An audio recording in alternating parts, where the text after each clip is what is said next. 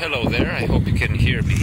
Welcome to the beautiful and always empty beach of Khanom Nakhon Thammarat.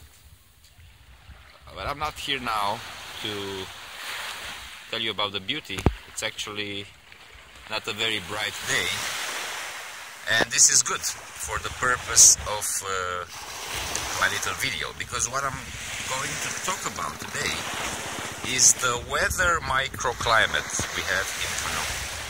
Uh, now it's uh, the month of August, so we have the southwestern monsoon, which is the dominant wind, and which blows, guess where? It blows from southwest, which is somewhere there. But if you look at the clouds, you will see that the dominant wind doesn't hit the central beach of Khanom directly, kind of circles it.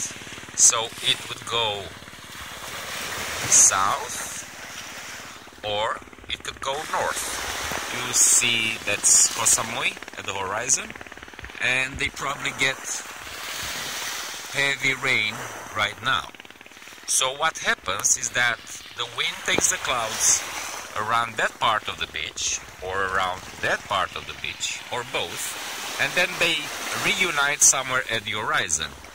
But in the meantime, above Khanom, on this central part of uh, Khanom, which is called Nadan Beach, we get little clouds or less clouds or sometimes no clouds at all.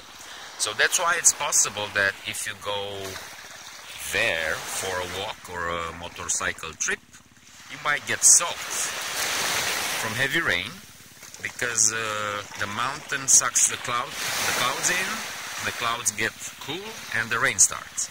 But as you descend from the hill and you reach this central part of Khanom, there will probably be no rain, or it can even be sunny, so you'll have the chance to, to dry up in a few minutes. So that's about it with the microclimate of Khanom. I hope you'll enjoy the video, but I hope you'll enjoy Khanom more than that. Thank you for watching this.